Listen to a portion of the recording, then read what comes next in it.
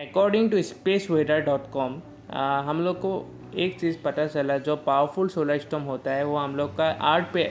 Recently approach करा है, जो एक तो 1.6 मिलियन स्पीड किलोमीटर से, और वो स्टॉम हम लोग का अप्रोक्सीमेटली संडे या मंडे हो सकता है। और स्पेस वेदर डॉट कॉम से हम लोग को एक और चीज़ बोला है कि जो सिग्निफिकेंट इम्पैक्ट होगा हम लोग का रीजन पे रीजन ऑफ़ स्पेस पे जो डोमिनेट कर देगा मतलब हम लोग का आर्ट्स मैग्नेटिक फ़ील्ड को डोमिनेट कर देगा।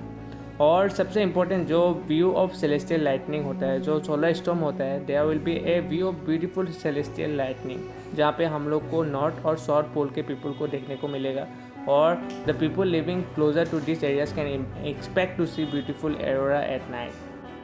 अभी सबसे इम्पोर्टेंटली स्पीड ऑफ़ 1.6 मिलियन है गया जो हम लोग का यूएस स्पेस एजेंसी नासा से हम लोग को इन्फॉर्मेशन मिला है कि सोलर सिस्टम जो हम लोग का आर्ट के तरफ़ एक स्पीड में पहुंचेगा, जो 1.6 मिलियन किलोमीटर पर आवर बोला जाता है और धीरे धीरे करके वो स्पीड इंक्रीज भी हो सकता है according to NASA satellite signals and it might and also set satellite signals can be interrupted by solar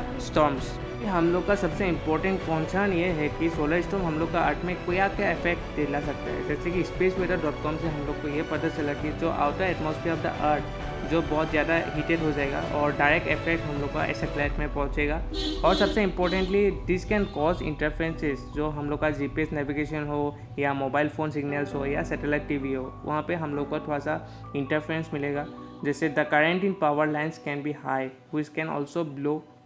transformers तो अभी हम लोग को सबसे इम्पोर्टेंट ये हम लोग को सिक्योर एक ही चीज़ में ध्यान देना है। हम लोग को ज़्यादा मोबाइल वगैरह यूज़ नहीं करना है उस टाइम और जितना हो सके